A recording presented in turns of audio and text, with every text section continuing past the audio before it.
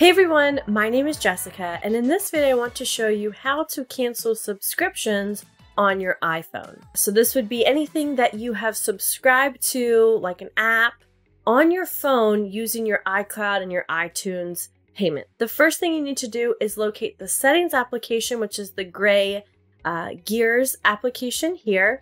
Click on settings.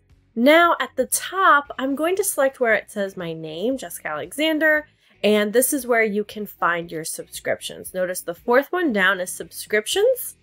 If I select that, I can see all of my active subscriptions. I can see when they renew, when they end.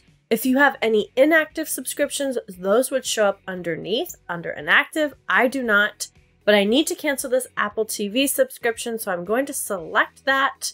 And then you'll notice I can cancel, uh, if it's not a free trial, to cancel subscription once you select cancel, go ahead and then select confirm. You'll notice the bar at the top is loading and now it says that my subscription is expiring soon, so I will not be charged. It is still listed under active because this was a seven day free trial, so I can still use it for the next six days. I hope this video helped you, and I hope to see you in the next one.